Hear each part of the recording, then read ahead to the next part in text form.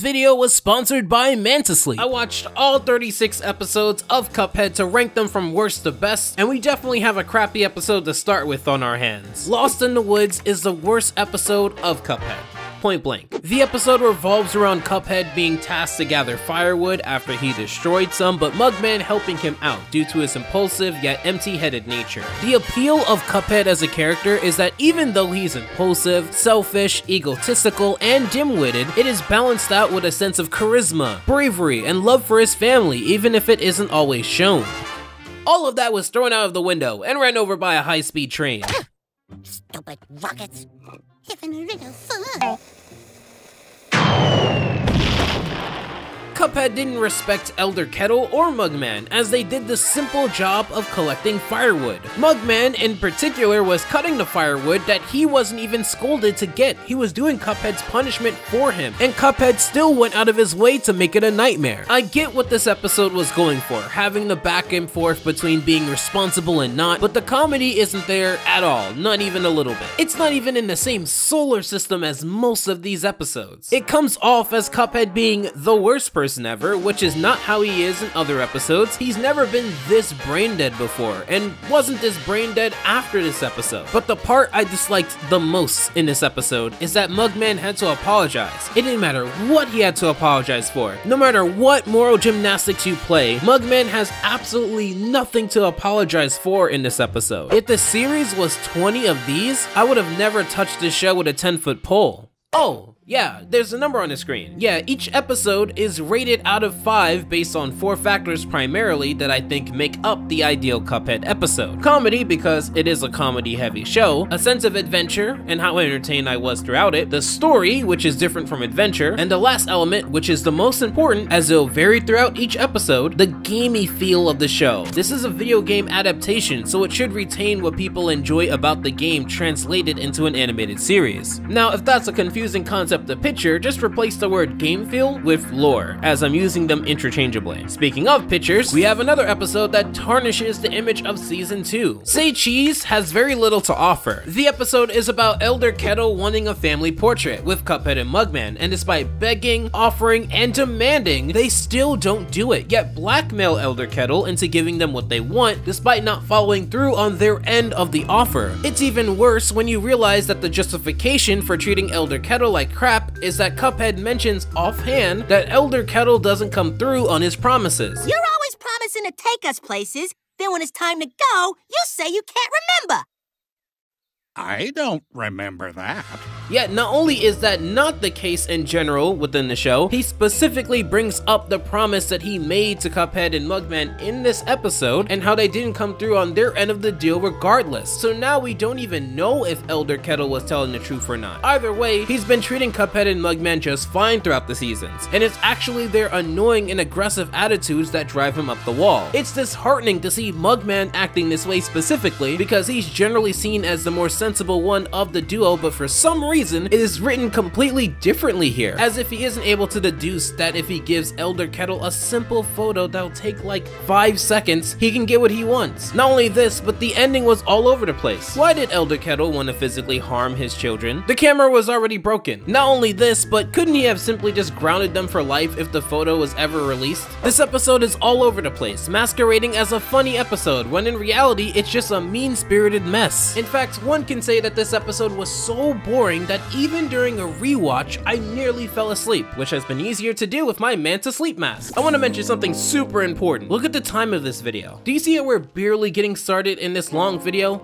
Yeah, I started this video eight days before the publish date. The only way for me to binge the show, take notes, script, revise, record, edit, and polish this video while also doing daily community posts and being active on Twitter and Discord is keeping my energy right, which starts with a good night's rest. One way I recommend improving your sleep is with Manta's OG Sleep Mask, which gives me a better balanced sleep with no pressure on my eyes at all. The Manta Sleep Mask is incredibly affordable and comes along with earplugs and a case. So basically, if this video is anything, it's a test testament to how well I've slept while getting such a big video done in a short amount of time. So thank you Manta Sleep for sponsoring this video, and if you want a 10% discount on a good night's rest, use promo code ALPHAJAY at checkout, A-L-P-H-A-J-A-Y, when you get your very own Manta Sleep Mask, the world's comfiest 100% blackout sleep mask guaranteed. Speaking of spirits, in the spirit of numbered reviews, I want to say really quick that I'm only comparing these episodes to each other, not any other show. Usually reviews of numbers get a certain subsection of the internet crying about the numbers and the rankings, and speaking of babies, we have the third worst episode of the show. Despite such a low score, I actually warmed up to Baby Bottle compared to how I felt when the season was brand new, so consider this score an improvement. It was a typical misunderstanding plot, specifically the demon child baby plot, where the baby looks cute and innocent to one person or multiple people, but demonic to one specific person. This episode kind of avoided the truly angering scene of, for example, Mugman seeing the baby do something bad but blame Cuphead for it regardless, even in cases where one couldn't justify how this was Cuphead's fault, and I think that's the saving grace. This isn't like everyone hates Bendy, for example, where in certain instances they just blamed Blue because of his poor credibility rather than looking at logic. Baby Bottle is still not a great episode, and debatably I'd even argue it's not a good episode either. It has some decent moments, and admittedly, it avoided some bad choices that other episodes that use this plot typically run into. But getting around that, Baby Bottle is the first episode to establish that Cuphead is a mean show, or at least meaner compared to its contemporaries. And we notice, given that Cuphead didn't warrant any of the pain that was given to him via the baby, and also that Elder Kettle didn't warrant any of the pain that he ran into with the baby, but also how they solved the problem.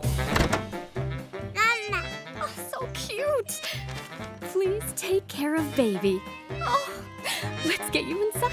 It's not a show meant to be held up to a moral standard akin to shows like Craig of the Creek, The Loud House, or even wacky shows like Phineas and Ferb. It's meant to have a little gray area morality to achieve the comedy that it wants. It's just that here, like building up Elder Kettle's radio as a prized possession just to have the baby intentionally break it, it's just not that funny, nor was the story tailored towards the show in a gamey sort of way compared to the first episode of the show. But there's another episode that struggled with its comedy a lot, despite avoiding mistakes that would ruin episodes like these, and that's Joyride. While I understood that this episode is only here to introduce Miss Chalice to the devil, if you take this episode out and simply add the last 30 seconds of this episode to the next, you don't lose anything. It's not so much that this episode does anything wrong or truly egregious, it's that this episode doesn't do anything at all. It's just them meandering for 15 minutes. The hook that this episode attempts to offer is Miss Chalice's ability to possess bodies. However, we would have known about this within the beginning of Dead Broke, as within that episode, Cuphead and Mugman were possessed by Miss Chalice, and by the way, Dead Broke comes before this episode. Sure, seeing Elder Kettle be less responsible and more like Cuphead was an interesting thought, but not enough to warrant a whole episode or a whole half of this episode to focus on. Not only that, but there's no gamey feel to this episode at all. It honestly feels like a filler episode in an otherwise strapped for time show. It doesn't have time to waste. You guys want to get some cotton candy? Boy, do we! Come on! you two go on ahead. I'll be right there.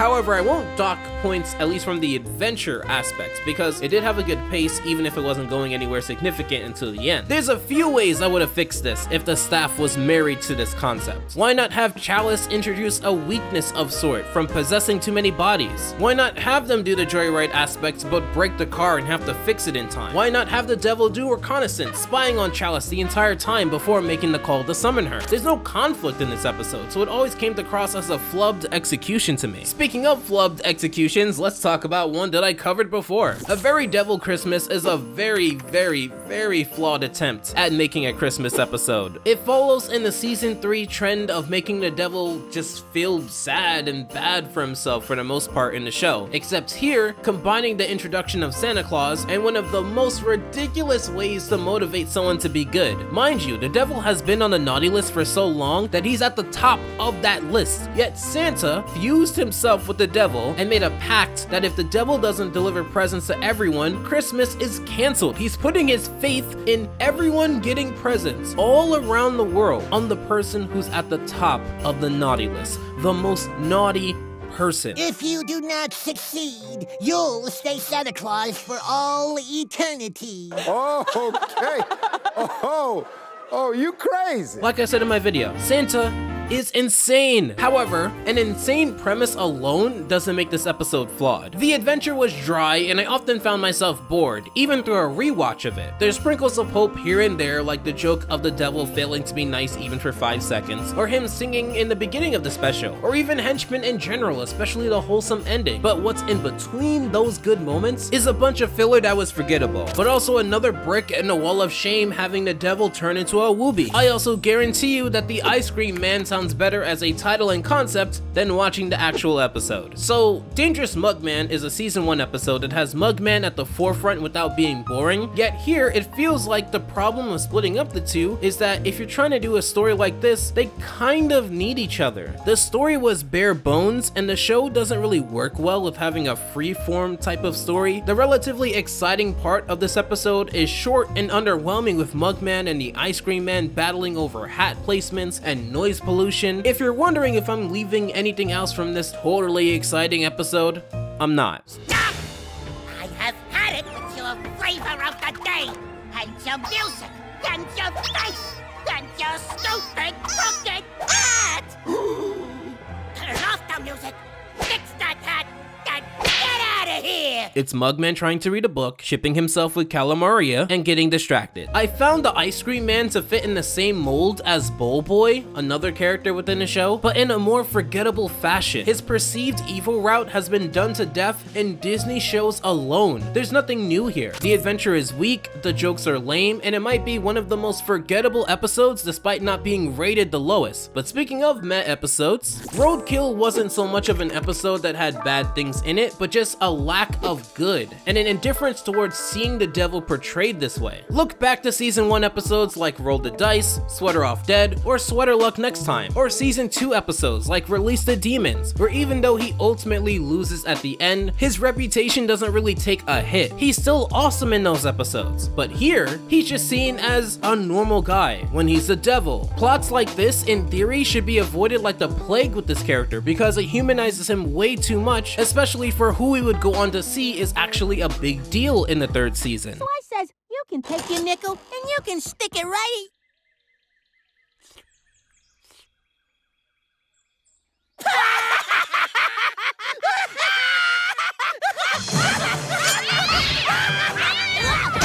If anything, Stickler is the most threatening person within the series from this point on, and he's not supposed to be a liked character, at least from both the devil's perspective and the audience perspective. He enforces the rules, he makes things hard for the devil, he's supposed to be lame and boring, yet he holds all the power. Not only this, but Cuphead and Mugman don't even fear the devil in this episode that much, beyond the brief moment where he intended physical harm. There's a few saving graces to this 11 minute pile of mid, which is the wholesomeness between the pet goat and Elder Kettle, but also I will admit, the Devil's Chaos replaced by cat noises was entertaining. I just wish it didn't require for him to be reduced to a pity party in order to do so for the fourth episode of the third season. The fourth episode of the second season was only marginally better. This is another episode that admittedly I've warmed up to slightly when I came back to re-binge the show, so consider the score higher than it would have been. I think what makes this episode work a little bit better may be a little bit of a cop-out. You see, within another episode, Handle with Care, we see Bowl Boy, a new character up to that point, and Mugman has a harsh reaction to him. I think he looks swell. Nobody asked you, bowl boy.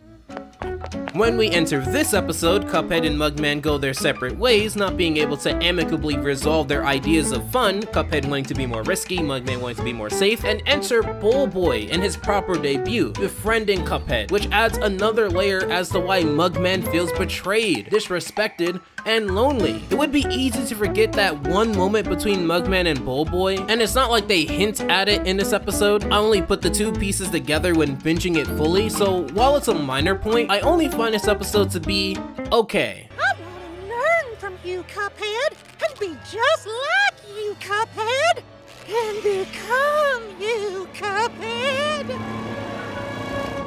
It feels like an episode any show could do. The idea of the duo splitting off in their own separate ways could have been built up to in a better way, and Mugman's side of things was incredibly boring. There wasn't much to it besides missing Cuphead and a tiny, tiny blink and you'll miss it moment where Mugman finds someone who wants to be safer than even he is. There wasn't many funny moments within this episode, and the resolution at the end was definitely a miss. Not the strongest of episodes, and especially coming off the prior episode, it was a letdown in comparison. But speaking of episodes that weren't the strongest, the season 2 finale upon rewatch was both empty and underwhelming, but served a greater purpose. Although I didn't use this aspect in my rating of the video, consciously anyway, one of the points of discussion with season 2 was that even though Cuphead was more impulsive, it was the build to season 3 in which it would be addressed. Ah!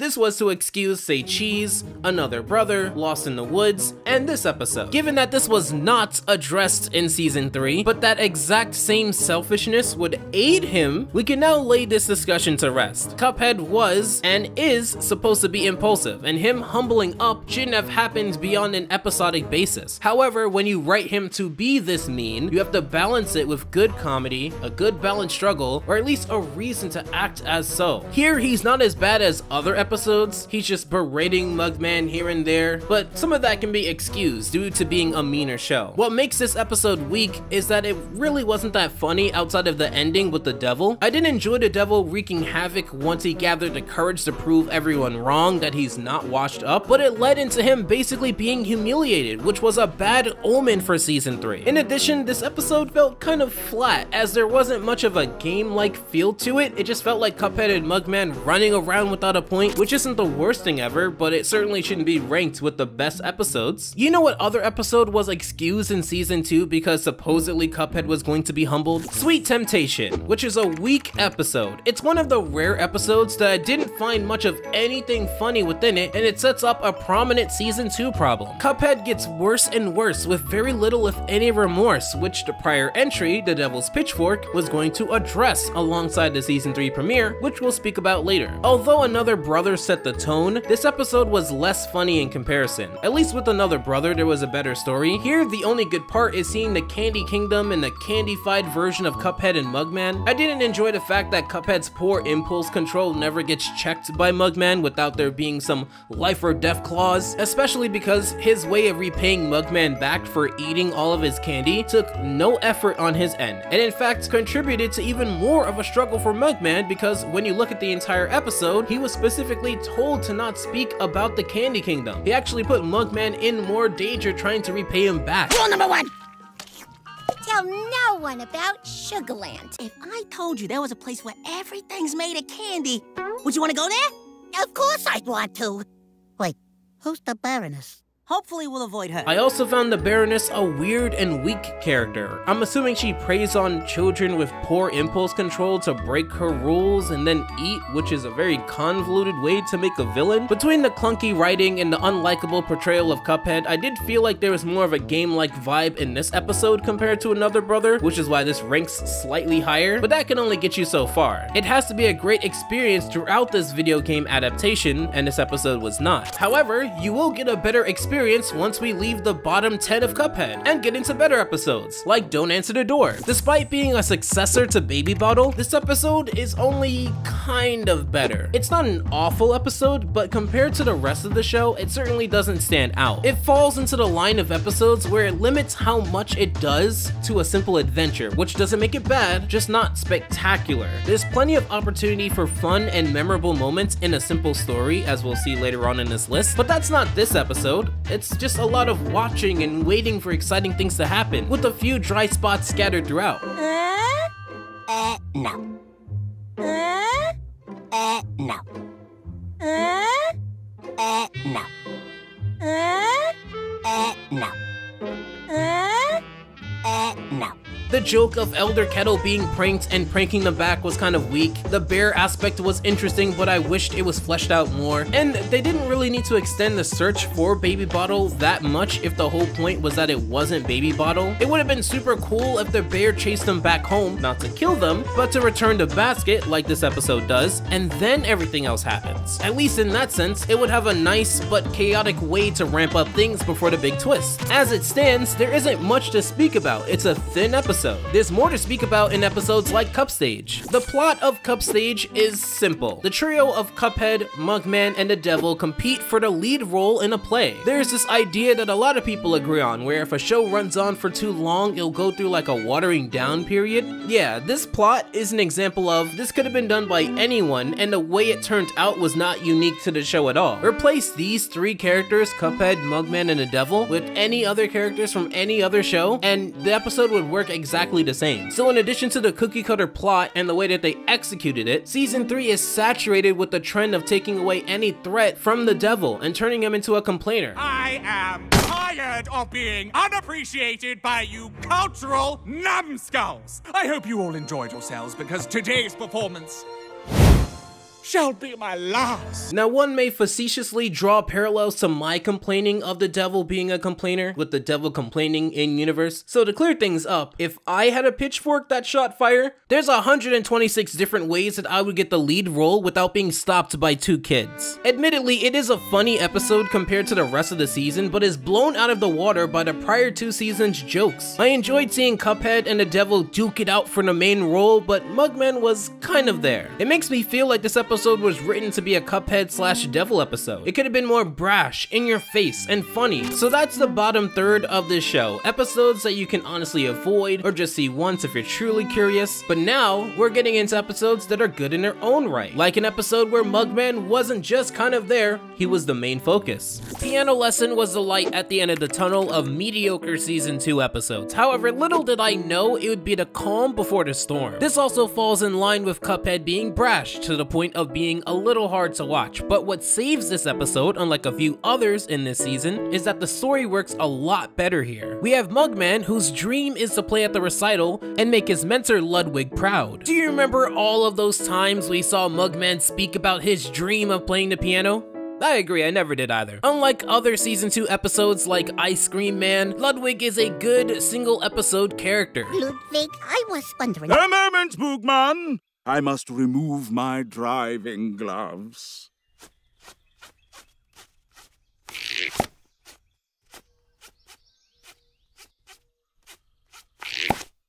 You were saying? The overdramatic voice direction, the great character design, and his mannerisms really sold him on being a memorable part of an otherwise typical episode. Usually to keep these episodes fresh, the writing veers into having the rivalry take twists and turns, but this one was very straightforward. Cuphead doesn't care for piano, so of course he's unnaturally talented at the piano, only to take it from Mugman because...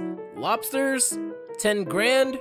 I get it, but at the same time, with the running joke about crawfish, it just seemed like Cuphead was perfectly content with what he had. Even during Roll the Dice, an episode about a show with an implied grand prize, Cuphead cared more about having fun than any material possession. Cuphead's stance in this episode appears kind of awkwardly forced into the episode, and that's one of the reasons it wouldn't be rated higher than it is. On the whole, it's a decent but flawed episode, marking the end of a hallway of boring or mean-spirited episodes, at least until around the end of Season 2. Season 3, however, would have an interesting obstacle. We've established an ongoing rivalry with Cuphead and the Devil, but also resolved the mystery of Miss Chalice, turning her from a mysterious cliffhanger into an entertaining mainstay. What would this season have to offer, and how will the Devil finally resolve his gripe with Cuphead?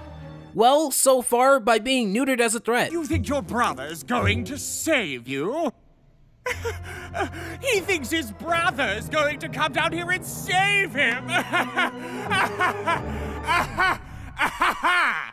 We've established very early on that the Devil runs a tight ship and should be feared, and the prior episode to this, The Devil's Pitchfork, even had a critic acknowledge that he used to know what he was doing. Despite seeing imagery of these poor beings caged up and sent to perform manual labor, the Devil seems to forget in this episode how to torture someone. He's unnaturally nice to Mugman, almost as if he doesn't have any options to torture the guy. Now, I love Mugman as a character, and this isn't a request to see him tortured, but why would the Devil be so cautious and soft when it comes to dealing with Mugman, the person who made the invisible sweater, placed it on the devil, causing severe burns that took a long time to recover from, and laughed at him when he was at his lowest an episode ago. Why isn't Mugman carrying rocks? Why is he so sure that Cuphead will save him? Using the power of hindsight, it's because the devil grows soft. Even though when he isn't around Cuphead and Mugman, he can be himself. It's weird how neutered he'd become in this season, and it's only more obvious the more you watch. You know what weirdly worked out though? Dirt Nap. It was a decently good episode. It is a rare Elder Kettle centric episode that revolves around him misunderstanding Cuphead and Mugman's woes and reluctant decision to bury someone to mean himself. If there's anything carrying this episode, it's the story. To see Elder Kettle attempt to impress Cuphead and Mugman shows how much he cares for him and the implied preservation of himself, but the story and pacing is slowed, albeit to the pace of Elder Kettle, and he offers not much beyond being the butt of a joke, which we've seen as early as the first episode of the series, but Cuphead and Mugman play a laid-back role. Almost the same character story-wise, which isn't bad, but it would have been cool to get more one-liners from either of them. I did enjoy the small twist that the worm that they've been taking care of is alive, with the same voice actor of the worm playing Mugman. He's alive! Thanks a lot, Cuphead and Mugman. You really helped a worm out. So long, fellas! Although it runs into the same problem of episodes like Baby Bottle and Handle with Care where it seems too casual of an episode to stack up against the more adventurous episodes of the series, plus the comedy was hit or miss. It hit sometimes, like with the entire sequence of Elder Kettle stepping over his own traps, but then miss in terms of the light bulb running gag in the beginning of the episode. But overall, it was nice to see a bit of history and lore added to Elder Kettle that I did not know before watching this episode. If you want to see a season 1 episode that had a better gamey feel though, you should check out Root Pack. It features the trio that one would see within the game rather early, which is a great inclusion into the first season, even if it is the seventh episode. Although not the funniest of episodes, the very first joke of Elder Kettle singing, turning abruptly into breaking his back is still incredibly funny, and is one of the rare moments in this episode that I rewound and watched it again and again. Interestingly, like with another episode within the first season, Ghosts Ain't Real, an episode we'll see later, it features the trio dynamic of having one less competent character and the two that are in comparison, except it's done better here because the less competent one isn't just for jokes, but also contributes to the story in a major way. This garden is all our poor Elder Kettle has left. Almost makes you want to cry. That's just terrible. Kettle. This episode, like with a few others in season 1, has so much fun with the character design, even if it is for characters we may never see again. The bouncer was cool, probably one of the highlight characters, however beyond that, it was a very average episode in the grand scheme of the show. The adventure really wasn't that unique, and I think it could have went a lot farther and a lot wackier given if you know anything about the game, and anything about these characters. I found the ending to be underwhelming as well, given that Elder Kettle's plans were built up to so much in this episode. Unlike the moment with the radio within Baby Bottle where it breaks and it serves as a big moment as Elder Kettle learns about Baby, here it's just like swept away like the dried remains of the plant. It's not a bad episode by any means, but it definitely isn't an amazing episode either. In fact, as far as the story goes, it can learn a thing or two from this next episode. Season 2's return of Miss Chalice was also just good. Nothing extraordinarily spectacular, but it didn't really need to be. This episode had one purpose, get Miss Chalice and Cuphead and Mugman in the same room to continue from the high tensions of In Charm's Way, which was the last episode of season 1. With that being said, that's probably the best part of this episode, seeing them speak and demystifying Chalice's appeal down to being part charming but also part liar and still retain that wild card energy. Beyond that, the episode doesn't really offer that much excitement. It skips over the dancing competition that it was building up to a little bit. It doesn't explain how Chalice's dancing works versus when anyone else does it, and the angry mob angle was handled a tad underwhelmingly. While it served the greater purpose of showing Cuphead and Mugman that Miss Chalice is a ghost, there are other ways to go about that without having it feel undercooked. I did enjoy that when Miss Chalice explained her reasoning for abandoning them, it wasn't that big of a deal to them, showing that they don't hold grudges for that long. You two knocked yourselves out, cops stormed in, and I was lucky to get away. Cookies are pretty good, though, huh?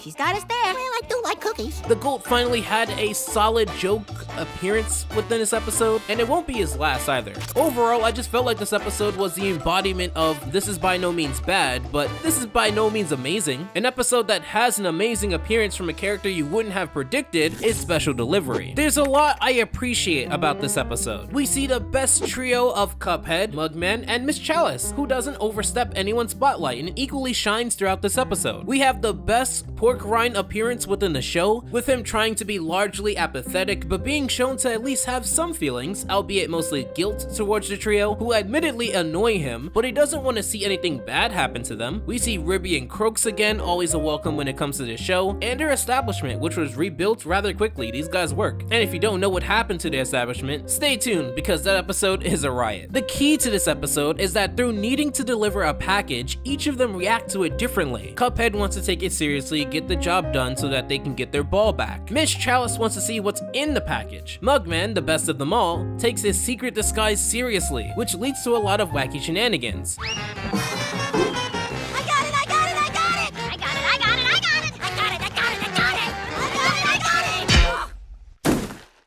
This is a highlight in an otherwise just fine season 3. A highlight of season 2 would be the premiere episode. The second season had a lot of expectations on it, but the sole question people wanted answered was what happened to Cuphead and Mugman, which I did not know I'd need to appreciate so much given how in another show, Oddballs, that also ended with a cliffhanger, wouldn't address it for 7 episodes. The episode directly deals with the ramifications of getting caught sneaking into a cookie factory, combining it with the sibling rivalry element that the two shared all throughout the first season into a fun plot, seeing the two brothers scramble around and try to escape. Mugman also has a side part of the plot where he tries to make the best of his situation, working as a laundry person, befriending all the mean, tough, scary prisoners, which, like with the salty sponge, I really like that trope. I think it's one that works best when used sparingly. Oh, don't worry. Someone else will wash your blankie. Mm, mm, mm. As much as I love prison, my place is with Cuphead. Hmm.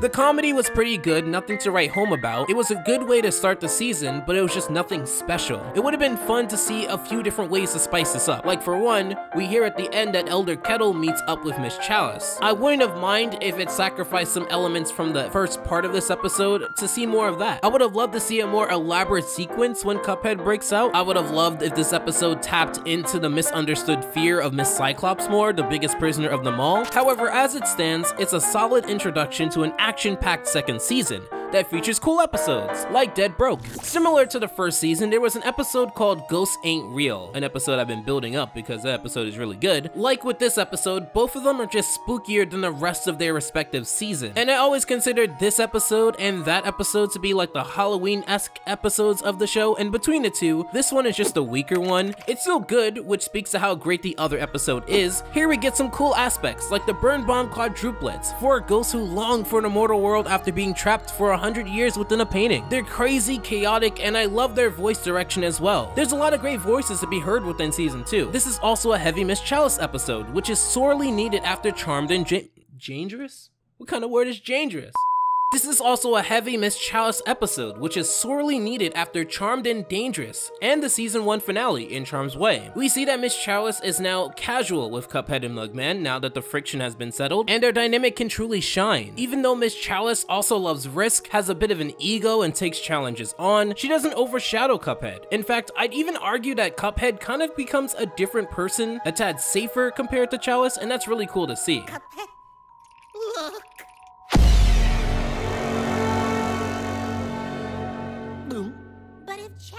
In that painting, then that means this house really is haunted. We see the return of the Ice Cream Man, the woman who practically lives in the theater, Sally's stage play, and some cool action sequences towards the end. This felt a lot more gamey than many episodes within season 2, and I appreciate that. This next episode didn't feel gamey at all, but was one of the best stories within season 1. When it comes to the smaller adventures, Handle with Care may be one of the best, despite its low score. While not specifically tailored towards a gamey feel, it is tailored towards cup heads, pun intended, which explains its anatomy, how handles are viewed in the world and was Elder Kettle's best performance to date, even with this fictitious story. Cuphead and Mugman are always going to fight, and to see it go wrong in different ways is the bread and butter of the show. We also got a proper introduction to Porkrind as within the first episode, they never fully visit his shop, getting distracted by the carnival, more on that episode later, but also a small appearance from Bull Boy, who we saw in Another Brother. The story just made a lot of sense, never had any slow parts, and even had a twist at the end. Elder Kettle! Elder Kettle! The Handle Fairy came! Get a load of these man handles! I found the honey joke to be hilarious even months later, and the bride joke was pretty funny too. The only aspect that holds this episode back is that it takes two steps back from being a gamey sort of vibe for a more conventional show vibe, which isn't inherently bad, but it isn't what I'm looking for in this show. And it isn't displaying the show's strong suit to both me as a new fan, but also longtime fans of the show. This next episode also had a fantastic story, but took a step closer to getting that game-like feel right, even if it is still a little flawed. The rags to riches story of King Dice post Roll the Dice had an incredible amount of potential, even before I watched it. Down and Out is a King Dice episode that just so happens to feature Cuphead and Mugman. From seeing him live in squalor conditions, eating a cooked boot, and having trash dropped on him unapologetically, to seeing him gain his confidence back after one show which brings in everyone nearby was nothing short of engaging from beginning to end. It's one of the best stories within the show, and obviously one of two fantastic stories within the third season. We'll get to the other one later. This is also accentuated with the boredom of the devil. So far within this season, he's been pushed around and not taken seriously, not just by Cuphead and Mugman, but by his own minions, minus henchmen, but more specifically Stickler. He finally cracks, calling the place that he used to have fun extremely boring, and refusing to take accountability for his lack of soul snatching. this place used to have style. What happened to the glitz, the pizzazz, the razzle dazzle? Hmm? Hmm?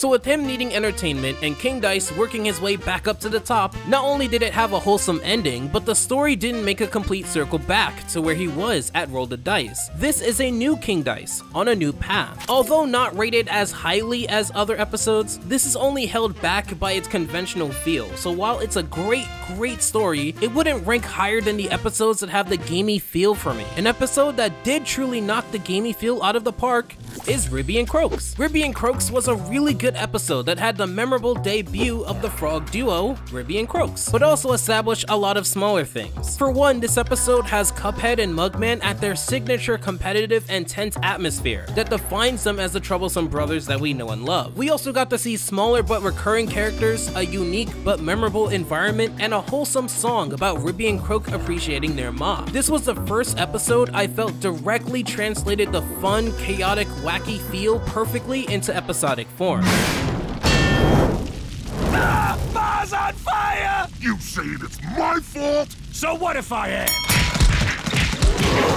This felt straight out of a level within a game compared to Baby Bottle, the episode before this one, where that felt more like a conventional cartoon episode. So what makes this good and not great? While the adventure aspects and the game feel are the better qualities of the episode, it's held back by the actual story, which is that Cuphead and Mugman don't get along because someone ate the other person's food. It just felt a little out of place within this episode, including the moment where they both apologize to each other. I'm assuming it's supposed to be a funny moment created from the contrast of chaos around them with them being emotional. And I do see the connections between their sibling rivalry and Ribby and Croaks' rivalry, so it's definitely not a bad story, but one that needed more to glue the connection together. The comedy wasn't terrible, it was just done better in other episodes. However, I will highlight the joke with the cook and his girlfriend being one of the best moments within the show, tied with the table aspect of the chase scene. It just looks beautiful and deserves more credit. Like the debut episode, Carnival doesn't get enough credit for being a great introduction to the show for both fans and newcomers. Cuphead and Mugman's personalities are clearly distinct. There's a lot of fun, adventure, and great music. The story also sets up a clear overarching plot with Cuphead owing his soul to the devil. Through my experience of watching pilot episodes, they're either unpolished, not focused enough, or sometimes even too excited to tell you all about the story that it feels cluttered. Admittedly, the weakest point is the comedy, but there's a few defenses to this one. For one, it's still a relatively funny episode, just not to the level of the rest of the show. But more importantly, the episode told more story for the purpose of setting up fun moments later. Hey, boss! What? I was singing! Uh, the soul counter stopped.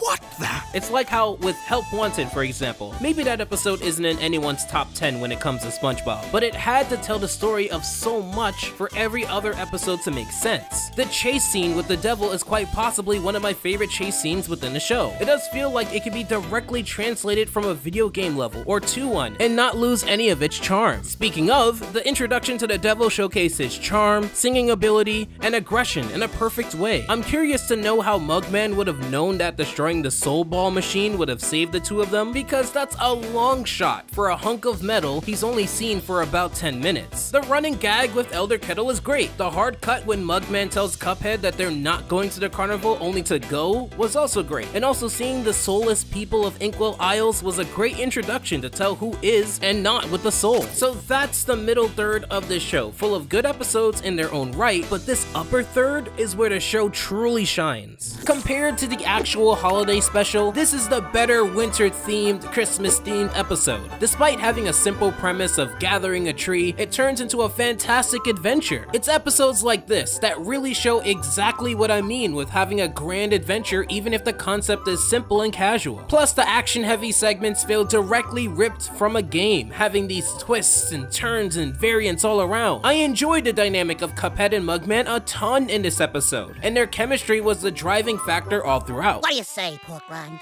Let's close it up at five. Ten. Okay, okay. Six. Tell you what, here's my final offer. Fifteen.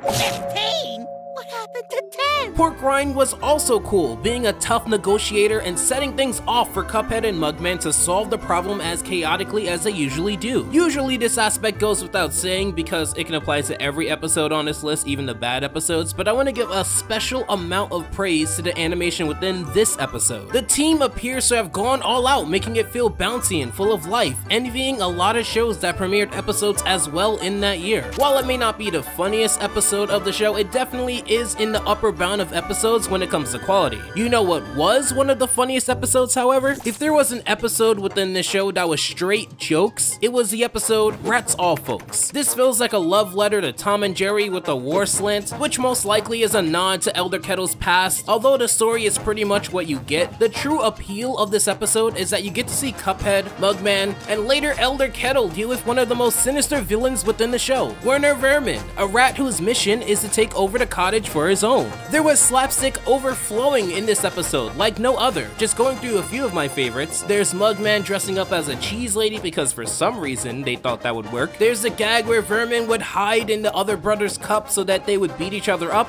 a classic. But one of my favorites would include the mousetraps and seeing Werner tease them by eating their do something nice for Elder Kettle so he will do something nice for us back cake. I think I will give it a lick. Charlie!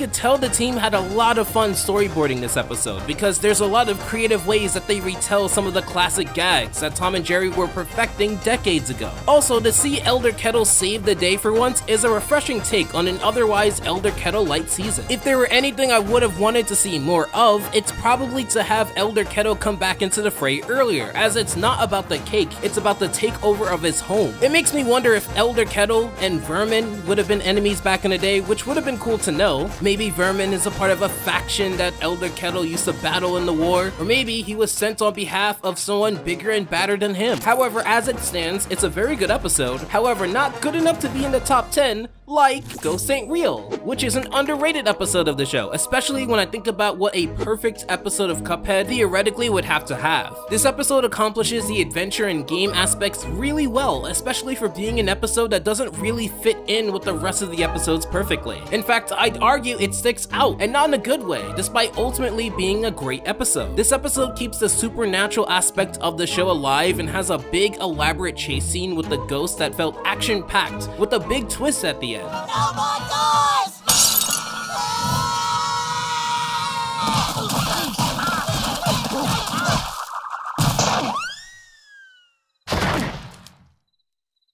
Now Now do you believe in... Oh!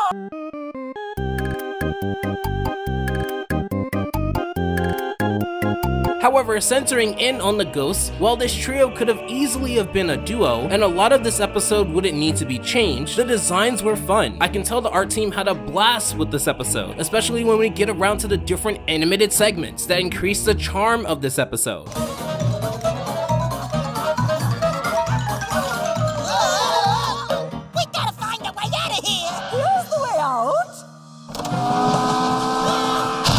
Holds it back is that the comedy was just there. It was a lot more action than comedy, which again isn't a bad thing in a vacuum. Wacky shenanigans technically count as slapstick, but it just wasn't funny to me. Obviously, this episode more than makes up for it by having such a grand adventure for what is a run-of-the-mill concept. A grander adventure was the series finale. The Devil and Miss Chalice aged better than I remember. Although it suffers, like a few other episodes in the season, from having the devil too soft, this is one of the lesser offenses. This story would have been a 5 out of 5, but the ending was incredibly unsatisfying that a point had to have been docked off for that. That's enough! Just one more! It's over! He won, you lost, that's it, we're done! But Nope! oh, come on! Boss, we should go. Oh. There is just too much in seeing the devil sad this season that even though I knew he wasn't going to win, to have him appear this much in the dumps at the end just took me out of the immersion. Plus the episode really wasn't that funny and some jokes fell flat, but it was clear that this episode wanted to be more serious and ambitious, which now, that the negatives are out of the way, we can speak about. The dance sequence obviously was the best aspect about the show. We start the episode off with the devil and Miss Chalice having a friendly but competitive vibe with each other about who the better dancer is. So to have the competition for her life be centered around dancing was a no-brainer. However, there is one aspect that has confused me even to this day. So there's an applausometer that measures who gets the bigger applause. Miss Chalice maxes out the meter yet when she trips at the end, she loses even though the devil didn't get as much applause. I wish it was a bit clearer. You would have won if I hadn't given you those marbles. What? You lost because of him? Ah, delicious! Outside of that small element, I love the solidified bond that Chalice has for the two dingbats and risking her life to keep them safe. However, I also appreciate Cuphead, even empty-headedly putting his life on the line, and also Mugman's, to save Chalice as well. The way the ending wrapped around to the beginning was meh, because again, episodes like the worst that Season 2 had to offer accentuated that impulsive nature and left a bad taste in my mouth. It was cool to see Chalice become less of a wild card throughout the season. A character who had the opposite arc was Mugman, who became so dangerous that he had one of the best episodes of the show. Dangerous Mugman will always be a slept-on favorite for me for a variety of reasons. For one, this is a Mugman-centric episode, which is rare within the show. This episode also swaps the dynamics of Cuphead and Mugman, which was both memorable and refreshing to see. It also has a really great story about confidence that isn't told in a cheesy way, combined with a fantastic adventure led by Mugman. He sails the sea, travels the jungle, and climbs the volcano all off the assumption that Cuphead's goggles give confidence. Goggles that would be separated from Mugman long before he would realize. These goggles give me a sense of adventure you can't possibly comprehend. Even though it is a story with the smallest amount of characters, just Cuphead, Mugman, and Porkrind, each play their part really well. When it comes to Porkrind, the clever misdirection of him going ape on Cuphead and Mugman, reaching the boiling point of being annoyed by them was the most memorable joke of this episode to me. And while I'm older and wouldn't have believed that he would have done something like this, just the mere fact that this show would tease this is what makes it funny to me.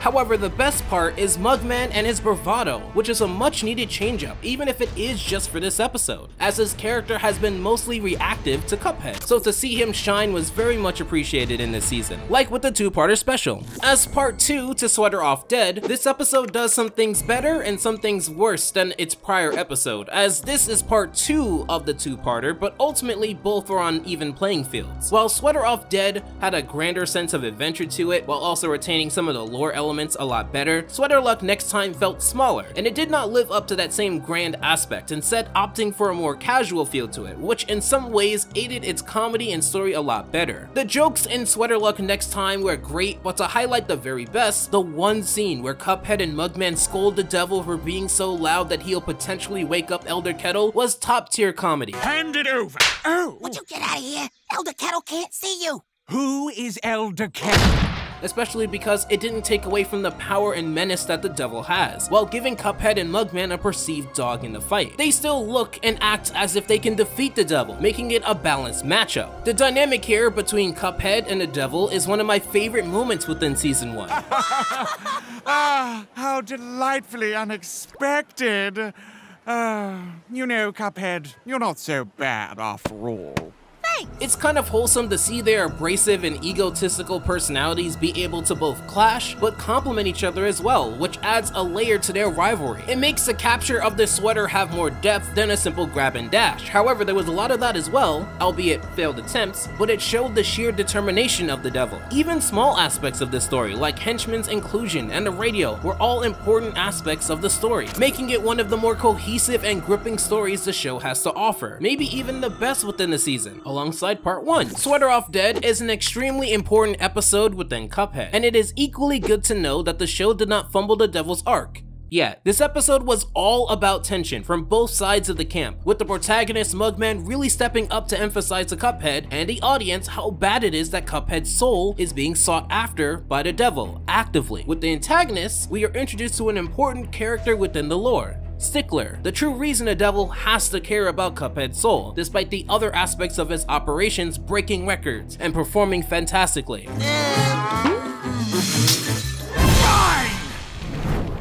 Don't stop the party. I'll only be a minute. Nice work, Stickler. I will not apologize for doing my job. Both sides are pushed to confront each other for logical reasons, which makes the tension that much better because a resolution is needed and needed quickly. We're introduced to the invisible sweater, which deters the devil in this two-parter episode, and introduces a lot of schemes, action, and the angriest we've seen the devil by far, which by the way, I really enjoyed the animation in this episode. I also enjoyed the introduction of Quadratus, whose voice performance and character direction was distinct within this episode and the show, giving him a unique edge compared to other side character debuts in the show, only tied against King Dice debatably within season 1. A sweater knit with invisible fur from a long extinct creature will deter. Eh, basically, the sweater is impenetrable to the devil, so. Uh, you stopped rhyming. Eh, it gets old. There was a lot of good comedy within this episode, and across the board, it is one of the better episodes in the season, but not as good as the season finale. This was the episode that taught me that this show was one to keep an eye on. Between the introduction of the charming and dancing wild card Miss Chalice, the amazing musical element brought to this episode, or the way that it ended and how it left a lot of questions to be answered within season 2. There's a lot to dive into here. However, not to rehash the video I made on it, let's go over the major points. The Elder Kettle angle at the beginning was quick and didn't stay as long as it needed to, to give Miss Chalice all of the space to debut in an impactful way. To see the boys stop everything just to observe her persuasion tactics, and even at the end of the episode still not be able to replicate it, only builds up Miss Chalice's character to be seen as magical.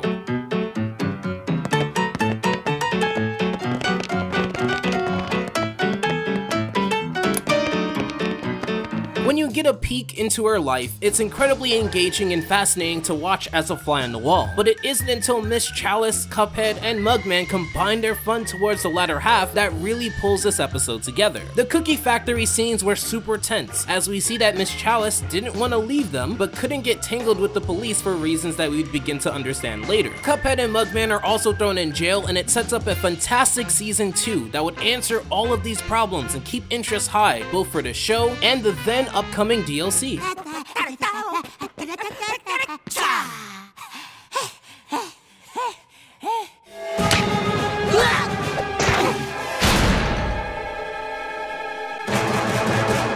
To say it's a perfect episode may be a little bit of an embellishment, but as far as courting attention, this is one of the best episodes of the series to do so. However, it is not the best ranked Chalice episode. That goes to Dance with Danger. What an amazing episode that I knew I had to speak about when it came out. It has one of the best stories and best adventures within the show, while also explaining Miss Chalice's origin in an incredibly entertaining way. I love the penguin caretakers. I love the fact that dancing was just in her blood when she was young. I love that she instinctively took up charming people out of things that she needed for survival reasons. There's so much here that makes it one of my favorite episodes.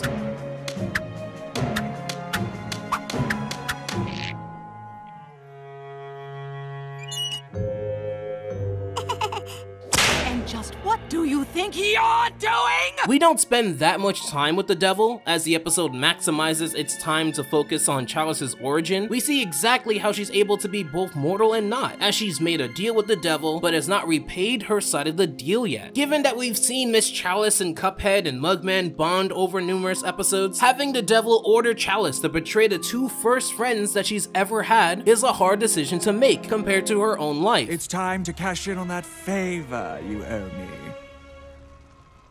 Sure. What do you need? I need you to betray the ding dongs. Mind you, she didn't want to be tangled up with the cops when they met in Charm's Way, and now she has to weigh her own life against the bond she has with the Cup duo. It's a different vibe for an episode, but still retains a lot of lore elements and a great adventure and story. I also think it's the best episode that Season 3 has to offer. However, this next episode was the one that made me commit to speaking about Cuphead the most within 2022. Roll the Dice is one of the defining episodes of Cuphead, and I think it was specifically written to be. From the concepts alone, exploring King Dice, one of the more memorable characters from the game, and seeing Cuphead take over his show, which is the number one game show on Inkwell Isles, was such a great concept with a perfect execution. Who's the host with the most? Hmm? You are, you handsome devil. Oh, you're terrible. I love that they just fall into it too, as the episode also emphasizes that the devil is still looking for Cuphead's soul. We establish that King Dice may appear invincible to the audience, but he is a mere pawn to the devil, losing all of that charm whenever he has to speak to him, which only accentuates the power and influence in the series' main antagonist. Speaking of charm, King Dice could not have had a better debut into this show. A great musical number, charm, elegance, ego, and aggression, all wrapped up in a package that only makes his antagonistic role all the more memorable. His dynamic with Cuphead was funny, but also served as a role both in this episode, but also in the grand scheme, planting the seeds of King Dice's fall from grace, and giving him a reason to dislike Cuphead outside of association. You're going in that room one way or another. The card ban was a great touch to the comedy and also the character design. Elder Kettle raging in the background was also a highlight, and seeing Telephone again was just funny. There's only some points docked because compared to other episodes, it's not the best adventure, but compared to most episodes, this is one of the funniest. It has the best game feel that the series has to offer, and that's why it's one of the best. However, if you want to see the best devil-centric episode, look no further. Release the Demons is a crazy episode that fulfills nearly everything I would have wanted in a Cuphead episode. This may even be the Devil's greatest episode in terms of performance. His raw anger towards Cuphead was believable, impactful, yet also hilarious, creating some of the funniest jokes within the series. His rallying of the troops was funnier each time he failed in doing so. King Dice was also amazing in this episode, showing some versatility in keeping the story flowing even if he wasn't the main focus. Big D, D, it is a pleasure to watch you in action. Nobody works a room like you. Are you still here?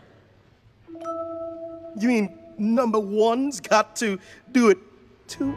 Cuphead and Mugman's contributions, while smaller, still mattered a lot in this episode. The story of Mugman trying to scare Cuphead based on a hay fair trip they had years ago is just a cool idea. However, there's something this episode did that I'm highly appreciative of. The devil calls for the four horsemen, and Henchman builds this up as a drastic choice. Normally, in shows today, it's subverted, and the scary monsters look cute and cuddly but are still dangerous. That's not what this episode did.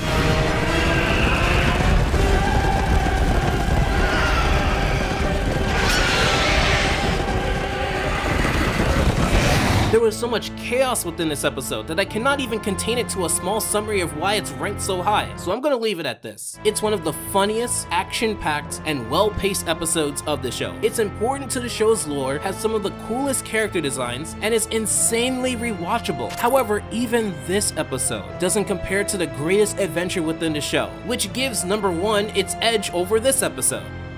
Which you can find out on Patreon. I'm kidding, kidding, kidding.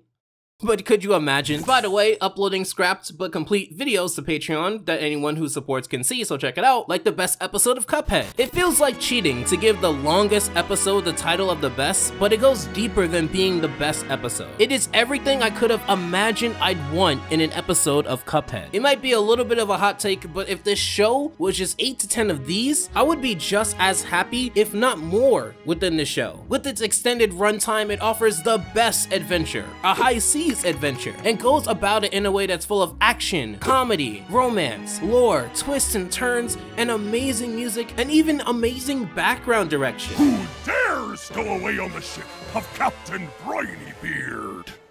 Yay! A real, real pirate! You can take us on a high seas adventure! Adventure? We're going home. No way! High seas adventure! Home. Adventure! Home. Briny Beard is just a great character, a hardened pirate whose time at sea taught him that he's too lonely to brave it alone, I guess if you don't count his parrot. He seeks out the most dangerous beast of the seven seas, Cala Maria. I present to ye a token of me love, a symbol of me enduring devotion, me undying affection. You talk too much. The deepest. She's one of my favorite characters in the show. I love her voice, her design, and her personality. She's basically a career woman and that clash between her and Briny Beard was engaging. I love Briny Beard's parrot chiming in here and there and also being included in his song. I love the fact that Cuphead and Mugman swap their interest in a high seas adventure, the former wanting it in the first half and the latter wanting it in the second half when Briny Beard gets to shore.